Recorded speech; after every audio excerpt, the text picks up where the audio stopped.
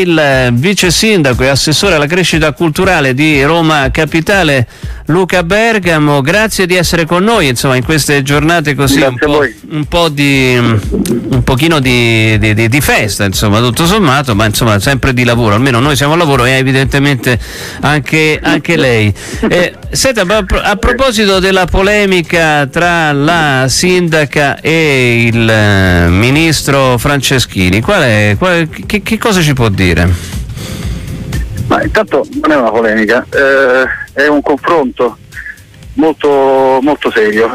La, la città, attraverso la, la, voce della sindaca, ha detto più volte al ministro Franceschini che la sua idea di trasformare il centro della città in un parco archeologico di fatto riservato ai turisti non andava bene lui continua a dire che perché non va bene, va bene agli uffizi, come va bene a Brera, va bene a Pompei. La differenza è che ammesso che vada bene agli uffizi a Brera e Pompera, quelli sono Pompei è fuori dalla vita civile.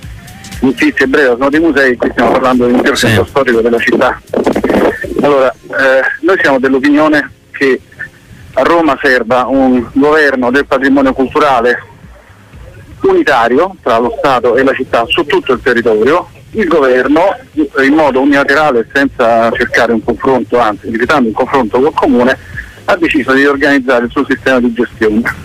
In aggiunta, è una cosa un po' difficile da spiegare tecnicamente, ma insomma, fino a ieri l'organismo che si chiamava Soprintendenza Speciale Archeologica di Roma, che ha la responsabilità per il Ministero di gestire il Colosseo dei Fori, ma una grande area che coincide col centro di Roma, subiva interamente delle risorse che produceva attraverso la bigliettazione che automaticamente restavano alla sovrintendenza. Okay? Quindi nella misura dell'80%, quindi l'80% dei ricavi delle attività che erano di vendita dei biglietti piuttosto che restavano su Roma sovrintendenza speciale. Oggi non è più così, indipendentemente da quello che dice il ministro, perché nel decreto che lui ha scritto c'è scritto che il 30% di quei ricavi andranno per gestire il resto del territorio, che è il parco archeologico, e poi il parco archeologico sarà iniziato al Ministero, quindi è il Ministero che decide come, quanto e perché gli date i soldi. Quindi sembra quasi allora, un esproprio nella gestione di tutta un'area così importante, così? Cioè questa è l'impressione eh, che avete?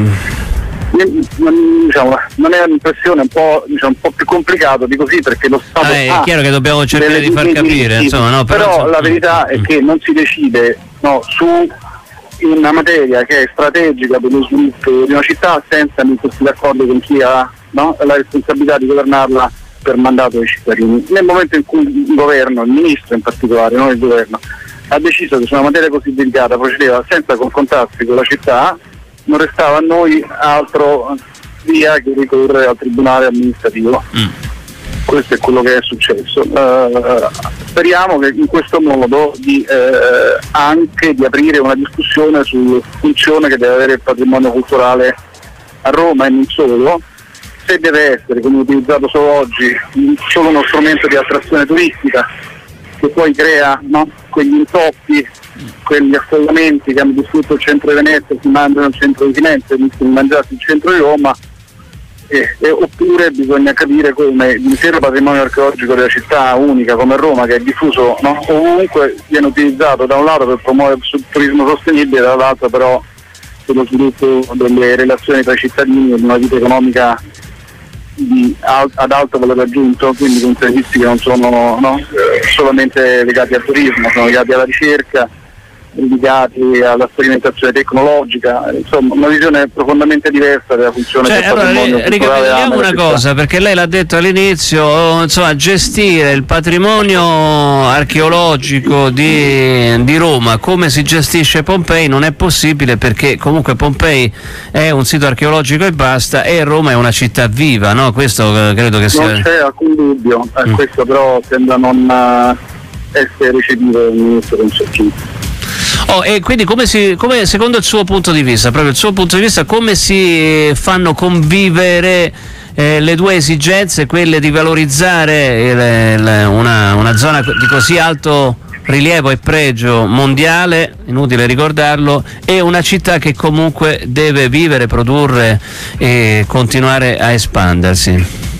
Beh, intanto, come avevamo peraltro già più volte eh, suggerito, anche sulla stessa area di cui si parla oggi ci sono due modi diversi. Il, diciamo, gli oggetti che producono biglietteria, attra- no? attrattività mm. turistica, cioè quei soldi lì, sono il Colosseo e il Palatino, sì. è un po' la domus area. Il meccanismo che porta a chiudere e recintare no, tutto, tutta l'area mm. Produce un fenomeno per cui le persone, la città non può vivere attraverso il parco archeologico. Immaginiamo viceversa, ed è quello che proponiamo noi, una grande area eh, a circolazione ridotta che va dal Circo Massimo fino a Monti e dal Colosseo fino al Campidoglio. Diventa, in cui ci sono dei luoghi ovviamente eh, per, per, cui accesso è con, con biglietto, no? il Colosseo, sì. Ma che diventa integrata con funzioni della vita civile, cioè anche biblioteche, librerie, eh, servizi alle persone si riconquista il centro storico, non che sta diventando semplicemente un luogo di, dire, per i turisti o per persone molto agiate, ha una vita molto più ricca e consente anche a ciascuno di noi di incontrarsi con gli altri intorno alla bellezza.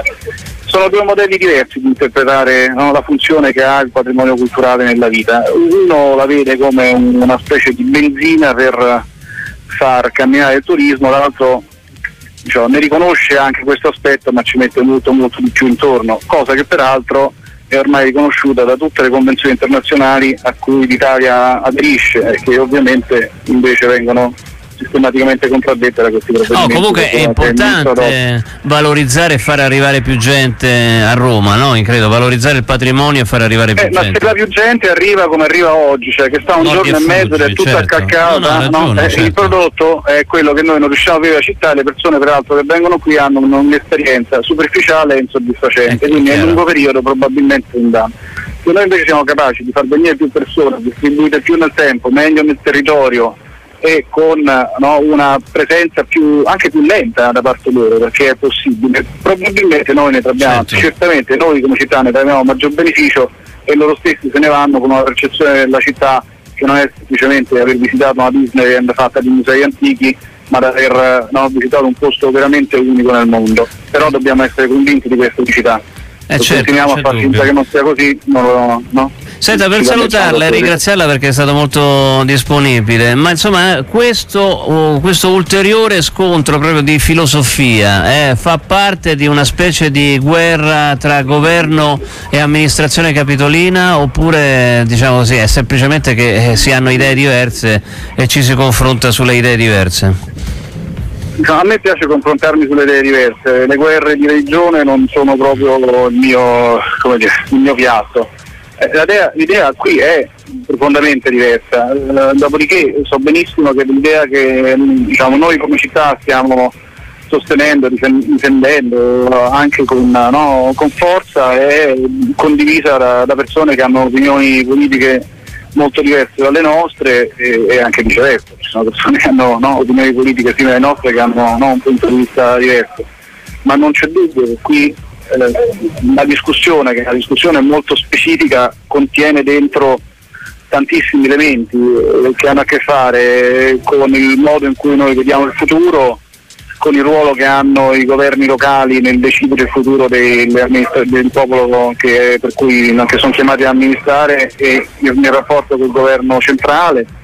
Eh, che hanno a che fare con un, una caratteristica fondamentale del nostro paese, in particolare di Roma, cioè una presenza sterminata di, di patrimonio culturale che è un'incredibile ricchezza del paese se il paese riesce a utilizzarla, eh, altrimenti no, si guarda sempre indietro, noi stiamo guardando avanti. Ecco, l'ultimissima, l'estate romana ha pubblicato il bando, che cosa sarà questa estate romana che parte il 30 giugno e arriva il 30 settembre? Beh, l'estate romana eh, cambia, eh, uh, in modo, diciamo, cambia cercando di recuperare i, ciò che erano i caratteri fondamentali delle sue origini che sono andati perduti nel corso degli anni. Nacque per restituire ai cittadini l'uso degli spazi pubblici, restituire la città. Bisogna ricordarsi che negli anni 77-78 Roma non era praticabile a causa di violentissime manifestazioni politiche tutti i weekend l'estate romana ci consentì a ciascuno di noi che all'epoca no? c'era di riscoprire il piacere di stare insieme qui alla città. oggi il problema non si pone in quei termini, ma si pone viceversa nella, nella, nella vita eh, distribuita, cioè non, non solo nel centro storico della città, ma nelle periferie e eh, si pone anche una grandissima difficoltà da parte degli operatori culturali a fare progettazione a medio periodo perché lo Stato, l'amministrazione capitolina nel passato è intervenuto ogni volta no, con supporti economici sempre a breve, eh, diciamo a breve periodo. Quindi noi abbiamo cambiato molte regole per semplificare eh, tutta la parte tecnica e amministrativa, ma soprattutto abbiamo introdotto tre criteri completamente nuovi. Il primo è che faremo delle graduatorie per municipio eh, incentivando dunque chi presenta progetti, a presentare progetti non solo nel centro della città. Il nostro obiettivo è di avere almeno due progetti per ogni municipio. Secondo, sollecitiamo progettazione culturale nuova perché non parliamo più, più solo di attività di spettacolo, ma parliamo di attività culturali. Attività culturali sono anche passeggiate a riscoperta delle aree verdi no? piuttosto che eh, eh, incontri eh, e discussione, eh, piuttosto che le tantissime forme miste che sono emerse, che esistono in città, che però il bando del State Romana non consentiva eh, di raccogliere in precedenza. E il terzo che inseriamo la possibilità di presentare progetti triennali, quindi per una parte consistente delle risorse, che sono un milione e mezzo di contributi per quest'anno, un milione di questi eh, vogliamo destinarlo a progetti che, hanno, che si presentano su tre anni e quindi dicono nel corso dei tre anni noi intendiamo realizzare queste attività in questi luoghi e poi per il primo anno ci presenta una programmazione dettagliata e alla fine di ciascun anno, a seguito di un'ulteriore diciamo, progettazione dettagliata per l'anno successivo, si ricevono automaticamente il finanziamento, ovviamente se hanno operato bene. Questi sono cambiamenti molto, diciamo, molto profondi, il cui obiettivo è quello di eh, riconoscere che esiste una progettualità molto ricca all'interno della città, che è molto diffusa e uscire da un meccanismo che negli ultimi anni è diventato stantio e ha fatto dello Stato romana in larga parte, non in tutto, però semplicemente un eventificio non sempre di altissimo livello. Quindi si prosegue con la filosofia un po' no, che era quella del, del, dell'ultimo dell'anno, primo dell'anno, un po' è quello? Esattamente, mm? certo. Eh, se no saremmo no, eh beh, cioè... era per chiarire insomma era chiaramente questo. Sì. grazie a Luca Bergamo buona giornata. grazie, grazie di essere stato con noi. vice sindaco di eh, Roma Capitale